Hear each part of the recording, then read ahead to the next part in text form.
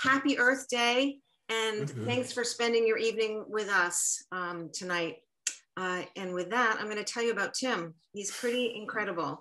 Tim Duclos holds a Bachelor's of Science in Wildlife Biology from the University of Vermont and a Master of Science in Conservation Ecology from UMass Amherst.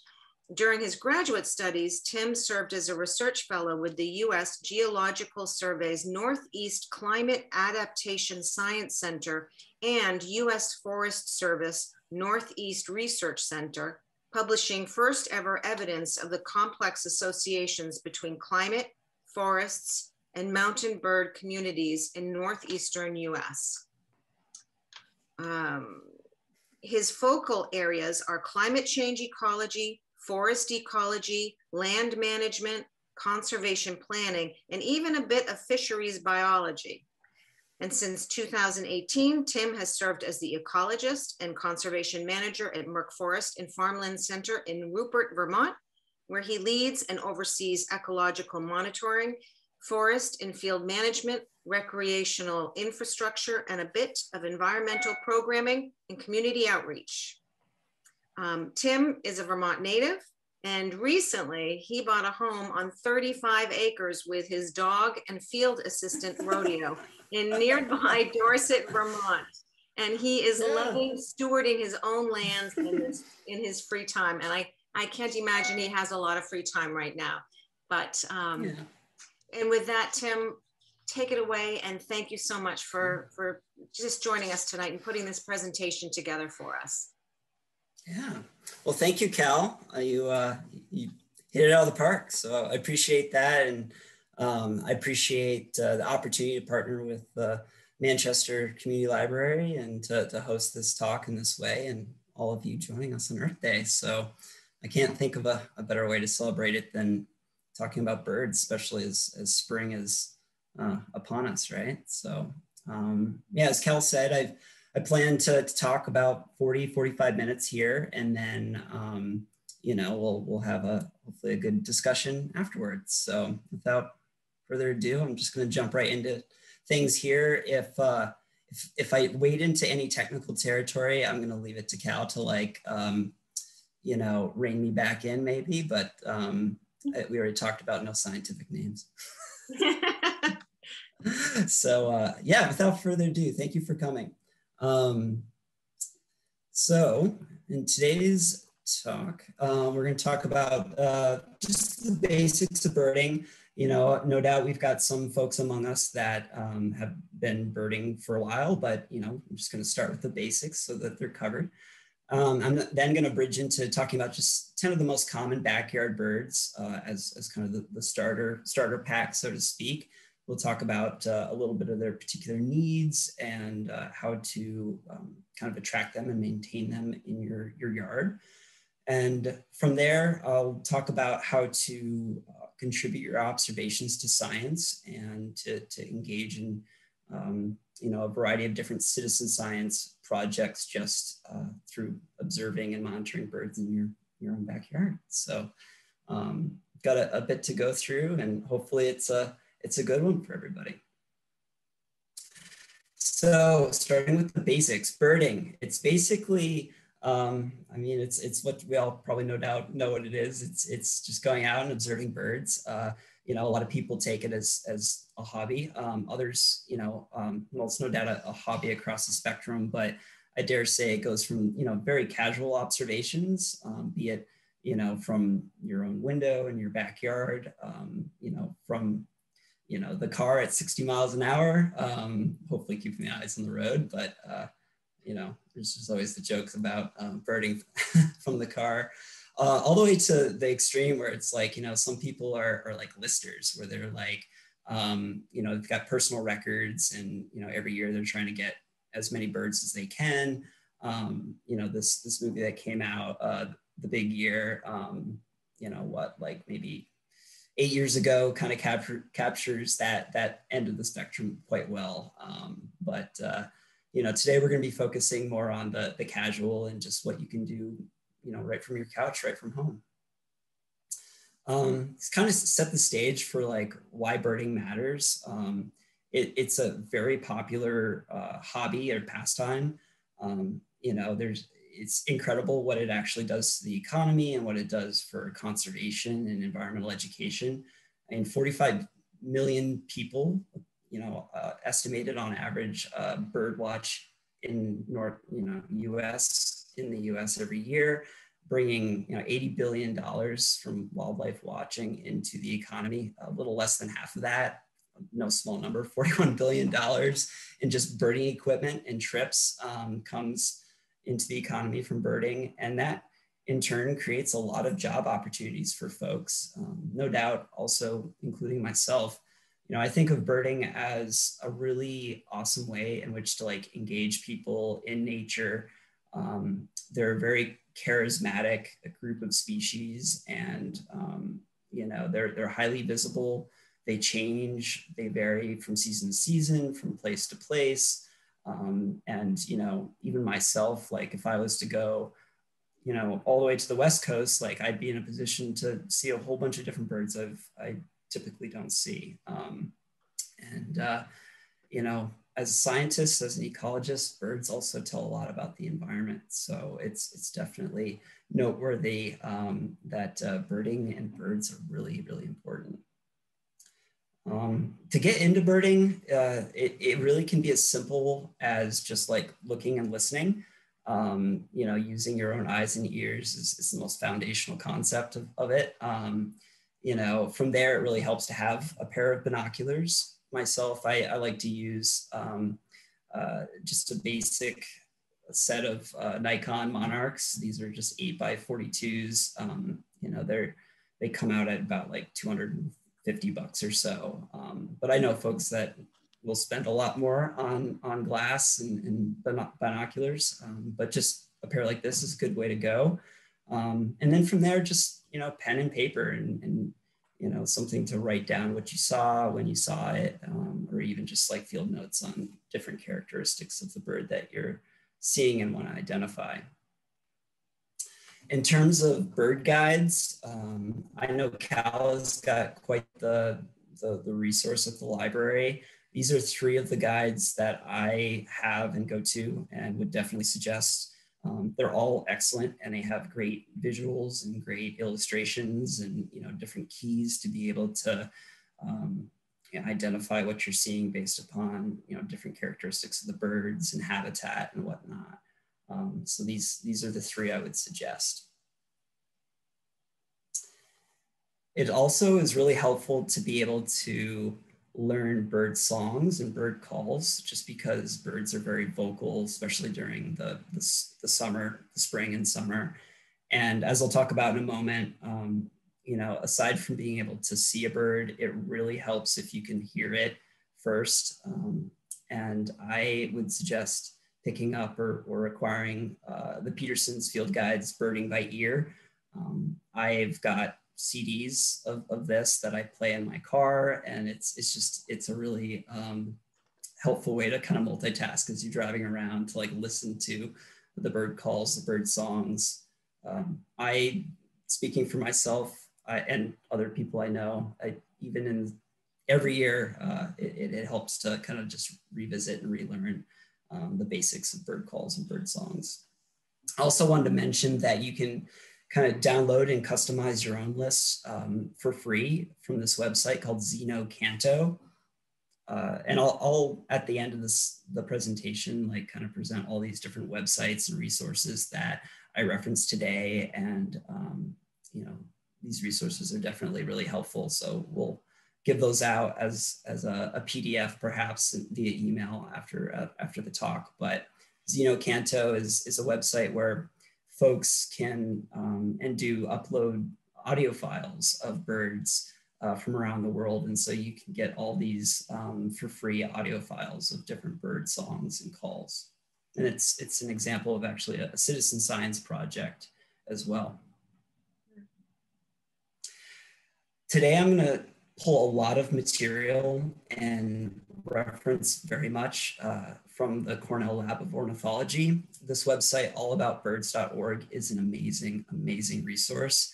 And from there, from this website, you can access all kinds of different citizen science projects, as well as different resources thinking about, um, you know, creating bird habitat in your backyard, what to feed different birds, what um, nest boxes and nest conditions you can provide for to attract individual birds.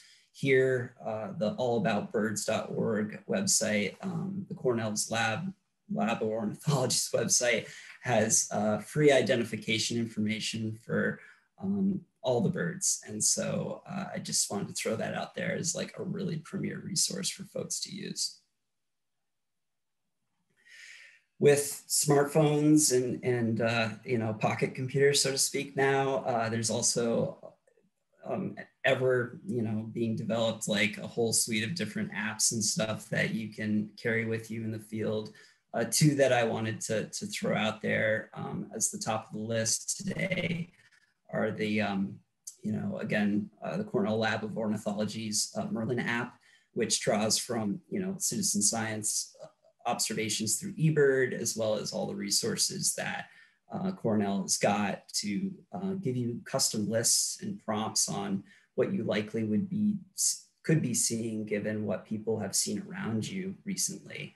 Um, so it's it's not just like a dictionary of birds; it's also like a dictionary of birds relevant to where you're at, based upon what people are seeing around you.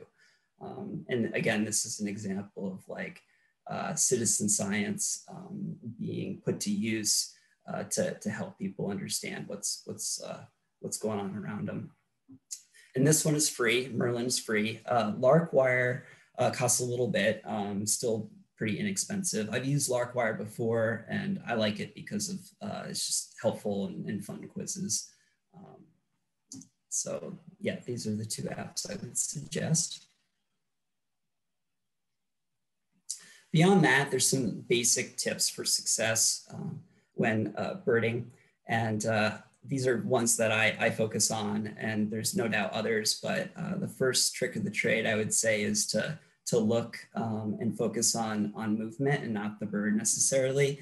Uh, it's kind of like a, a classic um, birding um, scenario in which people are, are like, you know, one person in a group has seen a bird and everybody else is like, where's the bird? And it's like, well, the bird's in, in the tree right there, that tree. Oh, which, you know, um, and, you know, uh, the nature of birds in general, especially during like the breeding season, is they're, they're going to be moving around uh, pretty readily and they're going to be um, gleaning insects or grabbing insects off of branches and leaves and whatnot. Uh, they'll be defending their territories from other other birds, and so they'll, they'll they're actively moving around typically.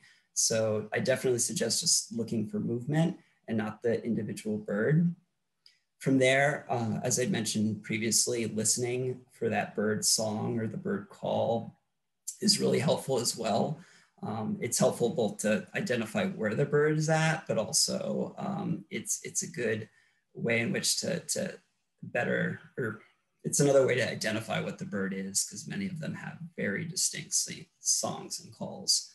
Um, the, the songs are much more noticeable and, and melodic, uh, whereas the calls are much more subtle and even experts struggle to differentiate individual calls.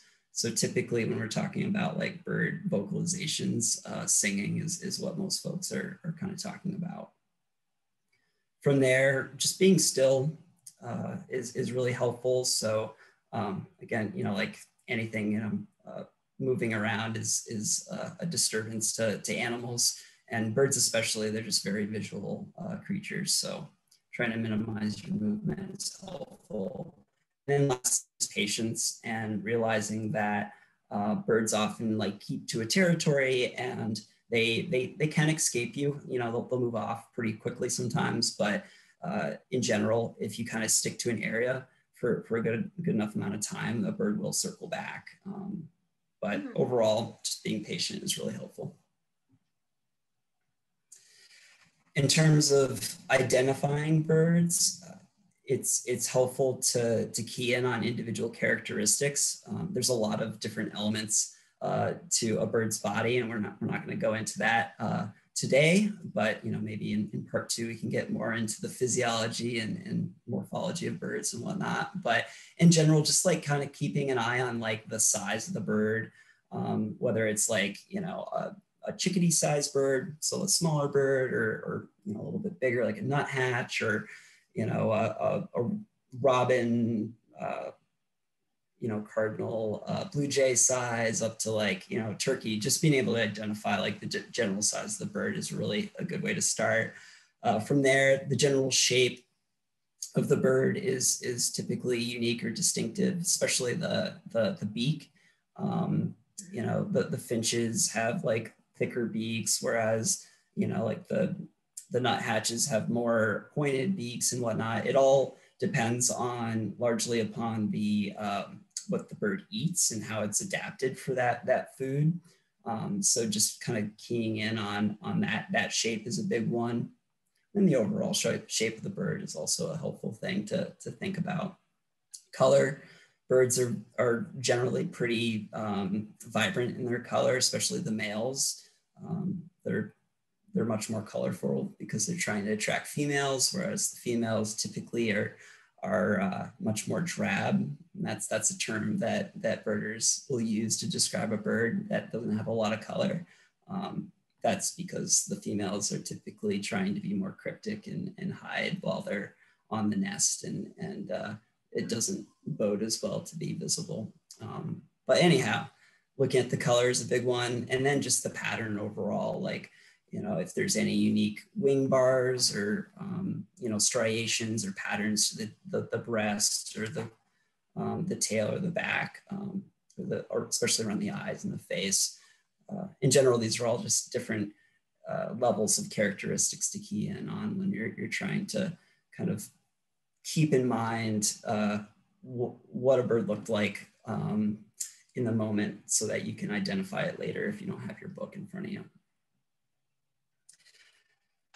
Kind of so from there kind of jumping into uh, a couple you know 10 different species of birds that are uh, pretty frequent in folks' backyard. These a lot of them are resident birds so they're um, visible throughout the year.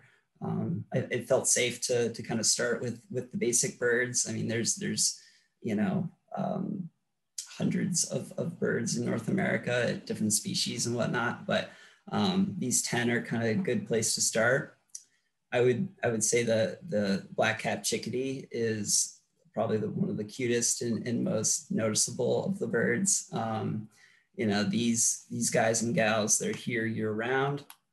This is a uh, on each of these slides you'll see a, a distribution map on the right here that I pulled from uh, Cornell's Cornell's Lab of Ornithology's website that show the um, you know, the, the breeding, uh, kind of the range that that bird occupies, whether it's, you know, migratory or resident or, um, you know, kind of if those two ranges overlap, it'll show that as well. But with the chickadee here, you can see that it just um, generally stays the same latitude um, and doesn't undergo a major migration.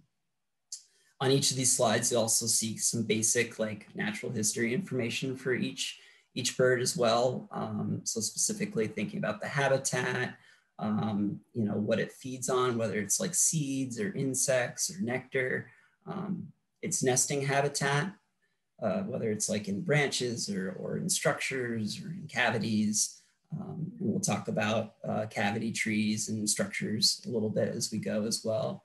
Uh, and then, you know, just general foraging behavior and its conservation status. Um, with the black cap chickadee, these guys, they, um, you know, readily occupy uh, fragmented habitats or, you know, ur urban, suburban areas, uh, wooded areas as well. They're generalists, so they're all over the place. Um, you can easily attract them to your feeders uh, with some suet, sunflowers, peanuts, um, you know, uh, little peanuts. I, I, was surprised to read that on the, the Cornell's Lab of Ornithology's page because it's kind of like a big nut for a small bird. Um, but certainly like little little Niger seeds are also like really suitable for these birds. Um, they do a, they are known to associate with willows and alders as well. So thinking about planting that around your yard would no doubt be beneficial for these birds. And then it's notable that um, they, they can be sensitive to edges of habitats. So kind of where there's a transition between the forest and the um, kind of like the, let's say like a lawn or, or an open area. And so trying to place a nest box for them uh, a little bit further into the woods is, is a good way to go for these birds. And they, they are cavity nesters, meaning they'll, they'll occupy um, like excavated spaces in dead trees, you know, typically from um, woodpeckers and whatnot, although chickadees will actually um, excavate their own cavities. So they'll, they'll uh, peck at that wood and pull it out until they, they've got like a, a place to nest. Um, and then I'm gonna go and try to see if this will work. I, I meant to try this with you, Cal, before we jumped on here, but um, I've got the, the audio files linked up for each one. Oh, um, so fingers crossed, bear with me. um, it should pop up and uh, play on my, okay, we'll, we'll do that then. So from there, Northern Cardinal is the next one I wanted to talk about. Um, everybody can see the presentation, right? Yes. Okay. Um, so the cardinals, aside from the, the chickadees, um, or with alongside the chickadee, I would say are kind of the two heralds of spring. I, I think about, um, you know, when things start to warm up or even before it warms up, kind of when, when uh, the day length hits a certain point, um, in late February, early March, I'll start hearing the Cardinals and the chickadees sing a lot more. And so it just seemed apt to, to mention the, the Cardinals. Uh, here, the, the Cardinals have actually been kind of expanding north in their geographic range. Um, they do typically um, definitely occupy more uh, urban, suburban areas um, and not so much like into the deep hardwoods, but you know, I've got them here on Danby Mountain Road and, and uh, pretty much anywhere there's, there's houses and homes, you'd see the uh, Northern Cardinal.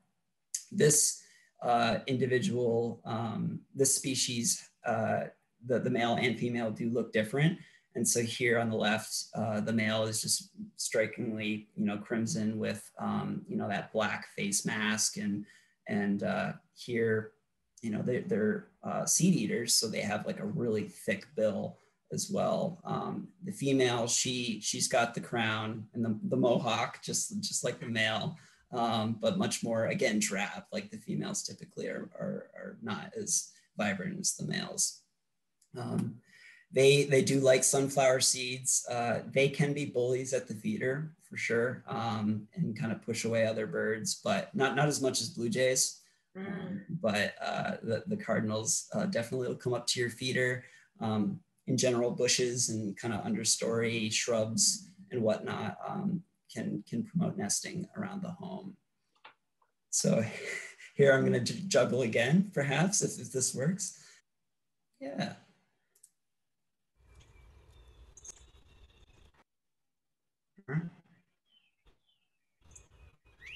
Folks hear that?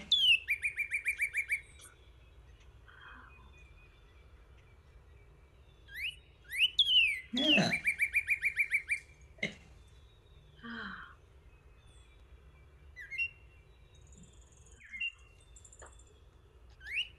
Sounds like spring to me, I'd say. Back to the presentation, right? Uh, hopefully here. Okay, so next up we have our good old American robin, another year-round resident for us here in uh, this latitude. Uh, they, they do move south out of, you know, Canada and the, the tundra and whatnot. But um, you know, these are another herald of spring. Uh, you you see them um, in big numbers in the wintertime, uh, but you know, as spring kind of uh, comes comes along and, and all these birds start breeding and dividing into territories, they do kind of divide up. I've had robins running through the snow in my yard the last day, still no doubt looking for worms. They do love worms and um, healthy lawns, healthy soils. These are a, um, this is a species that uh, can can really be impacted by the use of pesticides in in lawns and gardens and whatnot, just because of their close connection to the, the ground and the earth. Um, they are generalists in terms of their nesting habits. They'll nest in a tree, they'll nest in a bush, and you no doubt will have them in your garage or in your awning or you know in your outdoor structures as well. Okay, let's do the. Folks hear that, right? Mm -hmm. So like a really vibrant flute, fluty. Mm. There's a couple other birds that sound like them.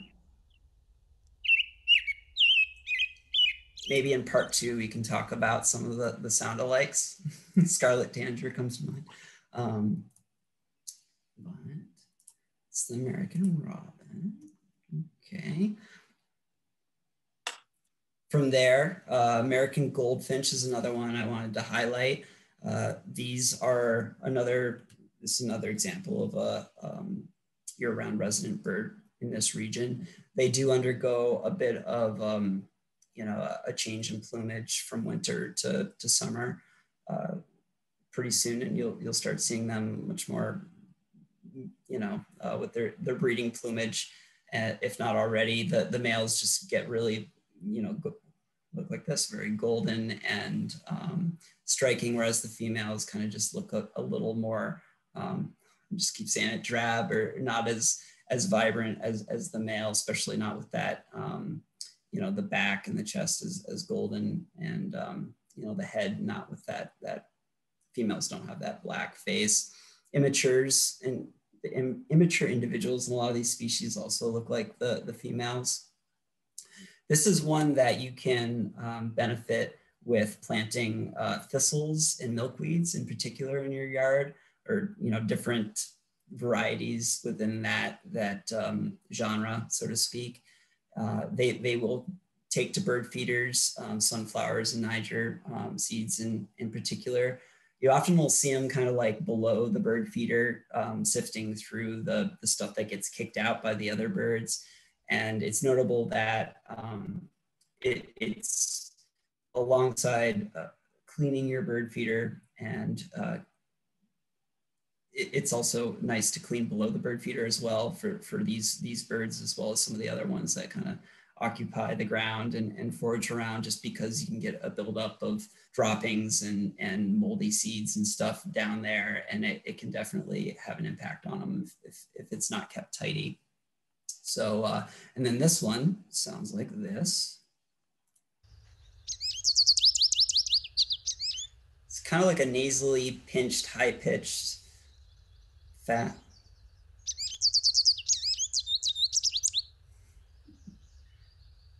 Give it one more go. Yeah. And all these birds are going to start vocalizing much more uh, as as spring for, you know advances just because they're getting further and further into the the breeding season and really the vocalization is is you know males in large part for most of these birds uh, defending territories and attracting females. Mm-hmm.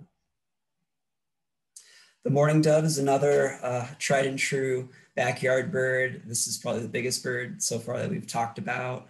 Um, they, they will take to shrubs and, and evergreens for nesting. This is a bird that likes platform feeders and kind of those those more um, you know uh, they they they're a bigger bird, uh, a, a, bit more. Don't tell them I'm going to say this, but clumsy bird. so they do like to to take to um, bigger platforms. Um, and they'll, they'll also, just like the goldfinch, they'll also forage on the ground and whatnot. So here again, it's, it's important to try to keep things tidy uh, below, below that feeder as well. Um, and uh, you can actually attract a breeding pair um, to, to nest in your yard if you put up a particular type of nesting structure called a, a nest cone.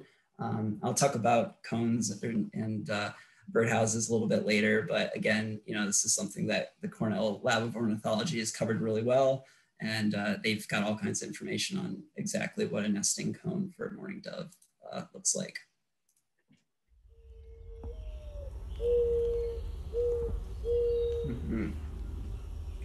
The mourning dove gets their name because they sound like they're in mourning. It's not like morning, like the day.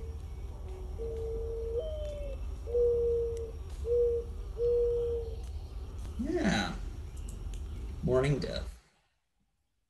Yes, they get their name uh, for their mournful call, M O U R. So next is, is very much a migrant. So this, this bird undergoes the biggest migration of the ones we're gonna talk about today. It's also a, an awesome one to have in your yard. This is the ruby-throated hummingbird. And it, uh, the male has this, I mean, true to its name, a very prominent ruby colored throat. The female uh, looks very similar, except she doesn't have that. They also have this green iridescent back. Um, they're a very small bird, size of your thumb or thereabouts. Uh, they're also unique because they're uh, nectivorous. They eat, you know, consume nectar, right? So any any tubular flowers that you can plant in your yard, um, in your garden, is going to be a benefit to them. So flowers, it, awesome for this bird. Uh, they also take well to, you know, um, hummingbird feeders uh, and you can just give them like table sugar mixed with water um, in a particular um, combination and and they'll take to that. It is notable that you um, you best uh, kind of swap that water out at um, certain intervals and frequencies just because it, it, can get kind of nasty and and even potentially fermented and that's not good for the birds.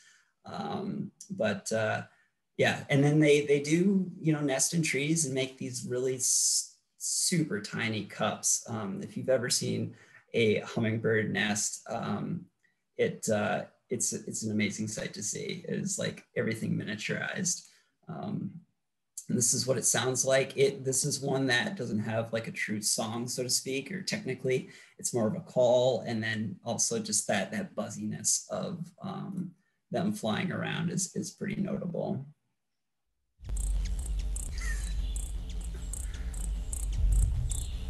I get a kick out of this because it's like you can tell this bird has had a lot of sugary something.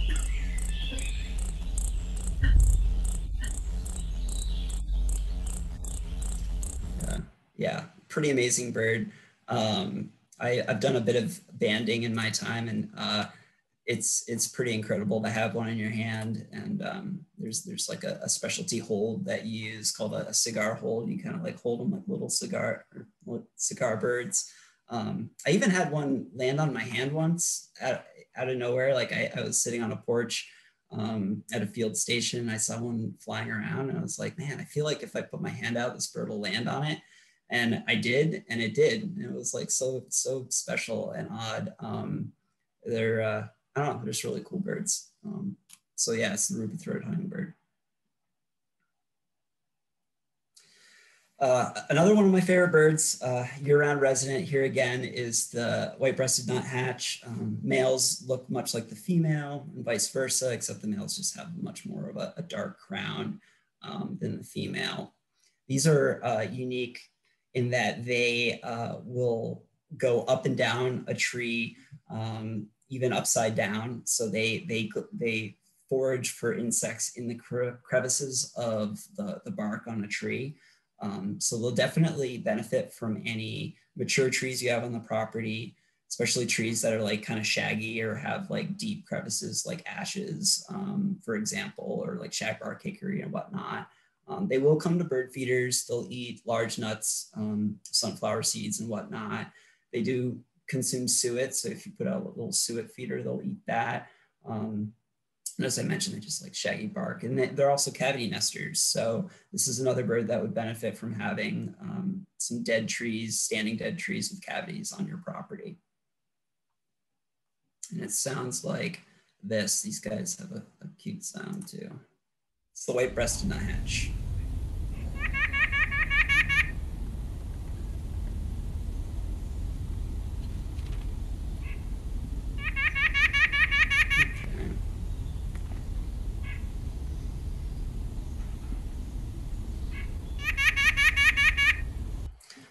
I'm seeing I'm taking plenty of your time right now. Hopefully folks are, are still holding on. um, so moving on uh, from here, we've got uh, three more birds to go. So this is the, the hairy woodpecker.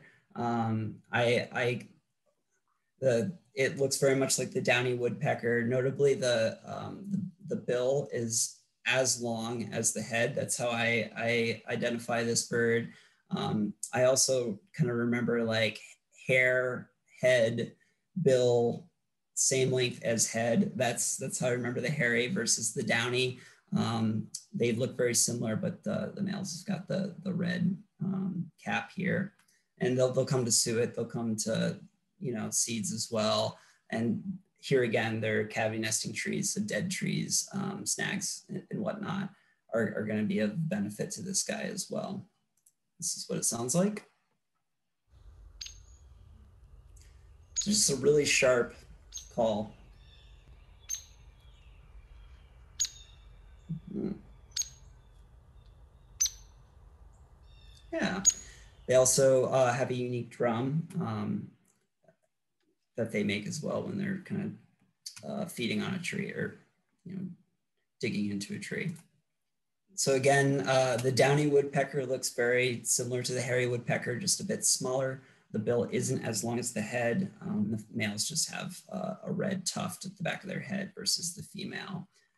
Pretty much the same requirements as the hairy, just in that they'll, you know, they, they love standing dead snags. They love, um, you know, gleaning and foraging for insects on, on mature trees. And their song is, or excuse me, their call is much like the, the hairy, but just much more um, subdued, I dare say, a little quieter.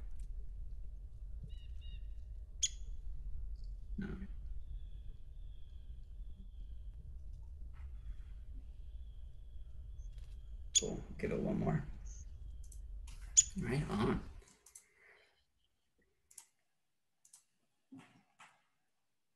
Uh, last one is uh, phoebe, eastern phoebe, uh, another herald of spring, one of the early migrants. Uh, I've been seeing some of these these guys around. Males and females look the same.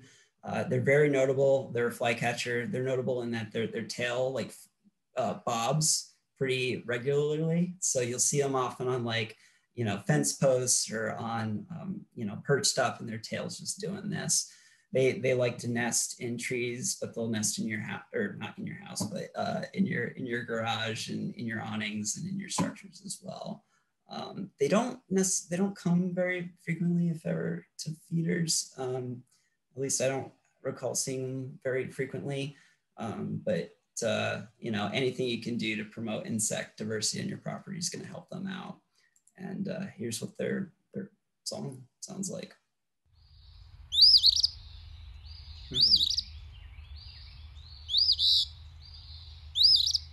They pretty much say their name. So Phoebe, Phoebe. Yeah. I love these guys. Cool. So moving on to thinking about like, you know, elements of habitat in your backyard, and we already kind of mentioned a lot of these things. Uh, in general, it just, it's, it's a benefit to have a really diverse um, environment in your backyard ecosystem. So specifically things to promote are like those standing dead snags. Um, if, if you can, you know, it's understandable that they pose a hazard potentially to the house if it's too close, but in general, like, you know, standing dead trees are really good for birds, really good for, you know, as insect uh, food sources and as uh, shelter and, and, nesting sites. Um, I definitely promote thinking about, um, you know, retaining like understory and, and shrubs and growth um, within your forest and as well as shrubs around and in your yard. Um, here I'll, I'll pause and mention that it's, uh, it's important to think about invasive plants and avoiding some of the common invasive plants. I'm thinking like burning bush and um, honeysuckle as well as barberry. These have been commonly planted at homes and they actually do also like bear fruit and um, birds will eat that fruit, but there's actually some emerging uh, science that suggests that that kind of fruit from invasive plants is like junk food. It, it doesn't have the caloric like um, nutritional uh, benefits that you know natural foods um, have. From there, just thinking about maintaining like a healthy um, you know leaf layer as well as like some ground cover. Um, and you know as, as nice as lawns are, and I've I've got a, a nice little lawn too. Um, you know, steering away from like having just a, a large you know monocultural lawn and, and just having a lot of diversity in, in, in plants um, around your yard. That's just going to generally attract uh, different birds as well. Uh, you can put up nest boxes. Uh, you know, certain birds like the eastern bluebird are in decline in, in part because the, the nesting habitat that they've they've historically had, and specifically here, like um, uh, old uh, fence posts and whatnot, are are no longer in use, and so they're they're kind of at a loss without that cavity. Um, and so there's a variety of different uh, styles and designs of blue of well not just bluebird boxes but all kinds of nesting boxes that you can put out for birds and here again i definitely suggest going to nestwatch.org where you can learn about um, one contributing your observations of, of nesting birds in these boxes um, from your property to science but also learning about the the design and placement of a whole variety of different nest boxes for birds and I just mentioned this, nestwatch.org. Um, and we'll, you know, Cal and I will send out a PDF, a document with um, all kinds of resources like this, but I definitely check this out. This website's got everything. It also goes hand in hand that um, the same exists for feeders. There's a whole array of different feeder designs out there, and they all speak differently to different birds. So again, you know, you think about like the platform feeder for the mourning doves. You think about like you know um, a, a, hummingbird feeder, you know, that feeds like liquid, um, you know, liquid nectar and whatnot. You think about like suet for um, for uh, nuthatches and, and woodpeckers and whatnot. Um, there, there's a whole variety and you can match uh, the, the feeder to the bird based upon your interest and what you have. And again, I direct people to go to feederwatch.org to, to check that out. Some, some real quick tips. Uh, in general, it's nice to keep your, your feeders uh, greater than three feet from your windows, um, and that's to avoid window collisions. And I'll, I'll talk about, about that in a second. Um, it's also important to clean your, your feeders frequently. So they suggest like two every two weeks to every, at least once a month, um, just to prevent build, buildup of moldy uh, bird seed and uh, bird droppings and stuff um, because you know disease and, and viruses can be spread that way. And then I would also just note, beware of like Cooper's hawks and merlins. Uh, there's certain predatory birds out there that will uh, definitely keep, not definitely, but can keep key in on the fact that you're attracting uh, birds that they might want to eat to their feeder. Um, in which case, if you've got a bird of prey hang out, it's just, um, uh, you can just bring your feeder in and kind of, um, you know, stop that habit uh, for, for a time and it'll move on. And then given where we're at in Vermont or in the region, I definitely would be remiss not to mention bears and the potential that um, come springtime, uh, and then throughout the, the summer and fall, when bears are active, bird feeders are a really attractive um, source of food for them, and you can get some some un, unide- or really uh, uh, not great situations with with bears and feeders. So just be aware of that.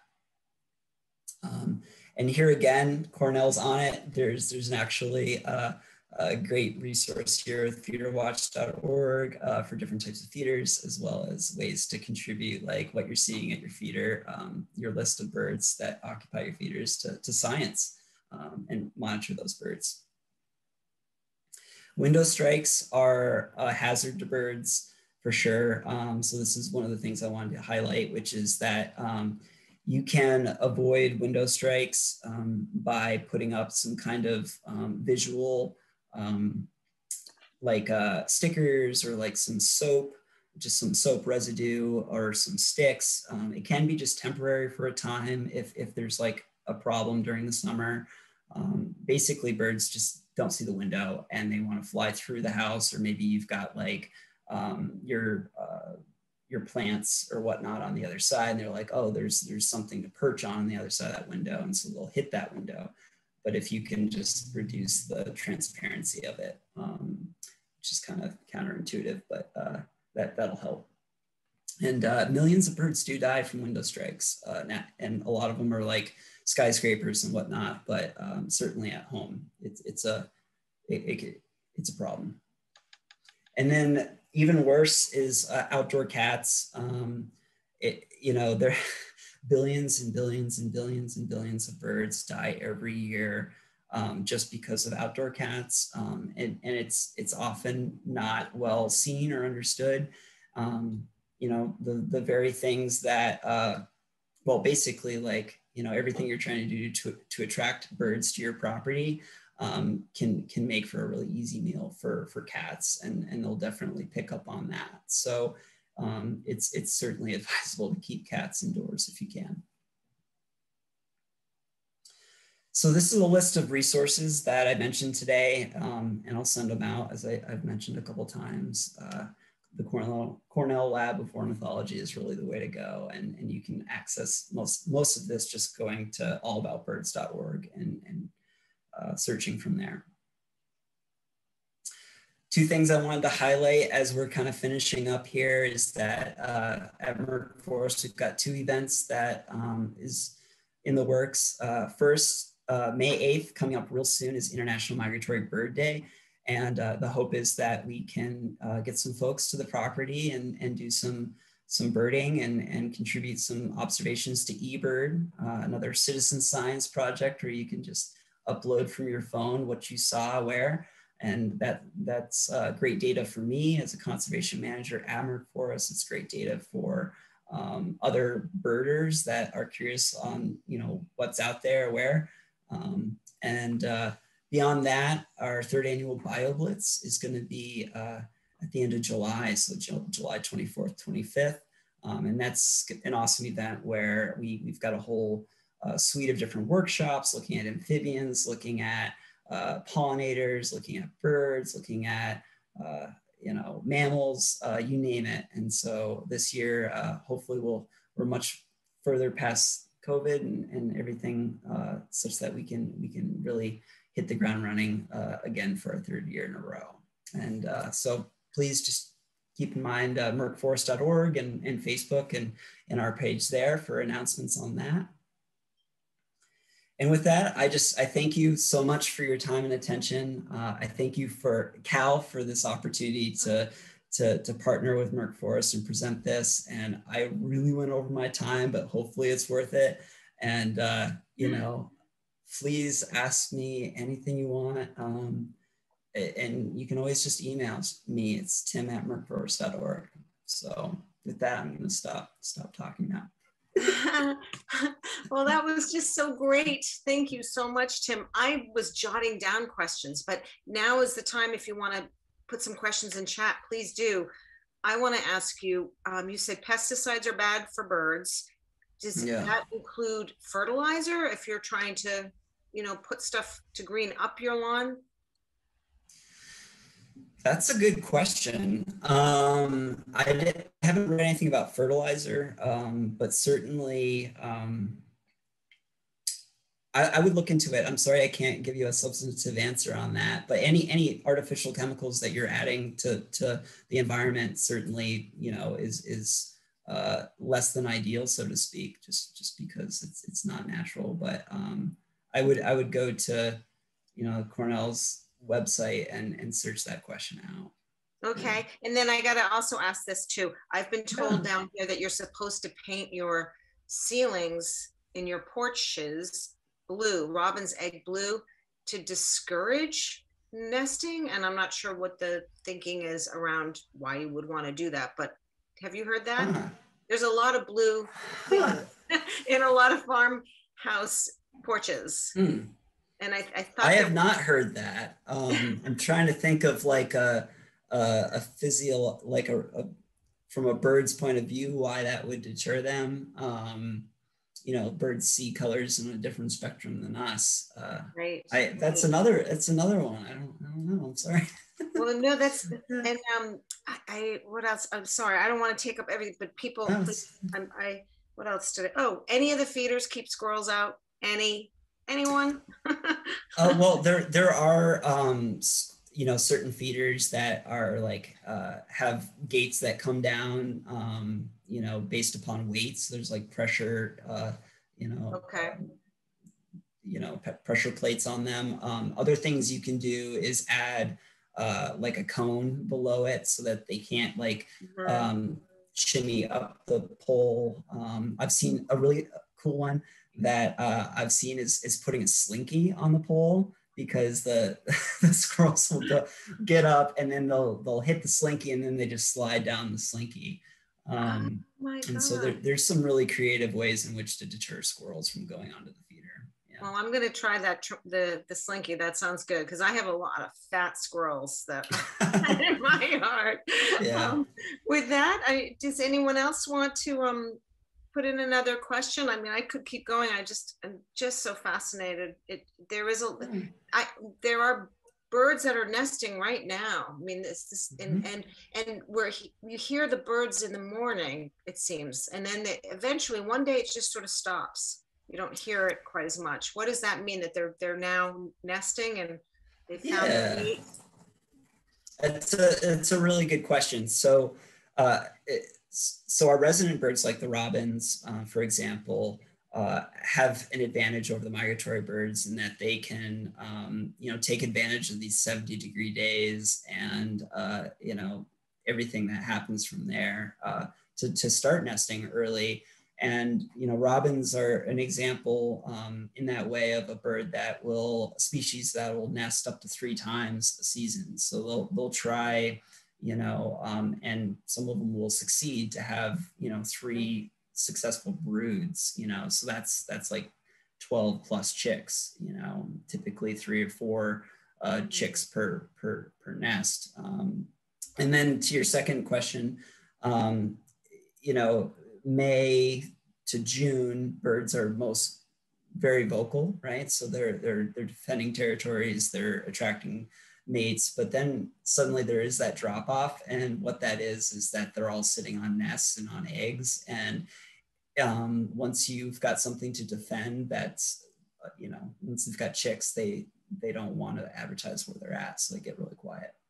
Okay i do have a couple more questions here for you. Um, yeah. roberta asks due to climate change are you seeing changes in the kinds of birds that are coming to vermont Yes. So in my life, um, you know, since I've really started watching birds, one one comes to mind, uh, the red-bellied woodpecker. Um, that this is a bird that I saw at my parents' feeder in Benson, Vermont, you know, when I was uh, starting out undergrad in 2005. Um, and I noted it to my professor, and he's like, oh, that's an interesting one. And then just by the time I was getting out of school um, in four years, like it was a bird that people were reporting across Vermont. Um, and so there, and then beyond that, like in general, yes, birds are moving up in latitude and further and further north as things have gotten warm. And, and it's very visible through the eBird data, right? So the citizen mm. science stuff is such a rich data set um, from which scientists are, are, are creating distribution maps and being, can, can show that these birds are moving north. So yes. All right, and the, I think this will be our last question. I, I want to make sure I got everyone. Um, yes, I think so. Okay. Um, Martha asks, have you installed an, a, a Marianne or an American Kestrel box at Merck? I did. Yes. Yeah, you noticed it off of the Old Town pasture. That was um, a gift actually from Jason Hill, who's a biologist at the Vermont Center for Ecostudies. Uh, he gave that to us um, as a thank you for participating in their their Birdathon the other year, and uh, I don't know if anybody's in it. Um, Martha, have you seen anybody use it? I haven't yet. No, yeah. So we'll have to keep an eye out for it. It's uh, right as as you depart the farm up Old Town Road and really start to like go up the hill. It's like right there on the on the right um, on the woods edge. So We'll look yeah. for it. Is it possible it takes a little while before they accept a, a place to nest? Like if you put something artificial up, a yeah. nest, do they watch it a couple of seasons or or if, if nobody ins, installs themselves there, is it just not the right, something's not right about it, not the right height, not the right protection, you know? Uh, yeah, it could be both. Um, mm-hmm. You know, certainly, uh, you know they have to find the, the box to begin with so there's that element of discovery and then um, you know from there if if nobody's occupying it, it there's there's probably a reason and, and it's time to think about like site selection and and orientation and and um, maybe it's just uh, the environment in which it is is not attractive to the bird for whatever reason just because they they perceive things different from us you know? Right right. Yeah yeah. Well with that i think we should say thank you. What a wonderful fascinating world uh, you know that's all around us in our you know right in our backyards and and everywhere. So we need to slow down and um, right and look for movement yep, yep, and record yep. what we see in our citizen science and um, and learn more. Please come visit the library. I'm going to see if maybe um, we can get some recommendations for some books to add to the collection in case we don't have everything. I think it would be really fun to listen to the audio that yeah. um, you recommended to the petersons. So um, now is the time for us to get out really and, and enjoy their their songs so mm-hmm. um, and and go visit Merck because they were probably there in great abundance. Yeah, um, yeah. Thank, thank you, Tim. Thank you for for this. This was wonderful. Yeah, thank you all. This yeah. Thanks for awesome. coming. Yeah, thank you, everyone.